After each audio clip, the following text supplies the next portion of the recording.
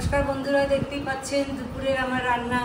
রয়েছে সাদা ভাত, লেবু, কাঁচা লঙ্কা, কাঁচা পেঁয়াজ, শসা, আর রয়েছে কাসুন্দি দিয়ে করলা ভাজা, আর রয়েছে পটল চিংড়ি। একঘেয়ে পটলের প্রিপারেশন খেতে ভালো লাগে না, তাই চিংড়ি মাছ দিয়ে পটল দিয়ে একটু গা মাখা গা মাখা করে রসা মতন করেছি।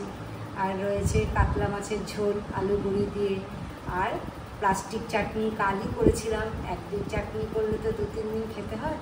তাই কালকে যা চাটনি দেখেছেন আজকে সে একই জিনিসেরই চাটনি। আর সঙ্গে রয়েছে ঠান্ডা জল। কেমন লাগল জানাবেন, ভালো লাগলে একটা লাইক শেয়ার করে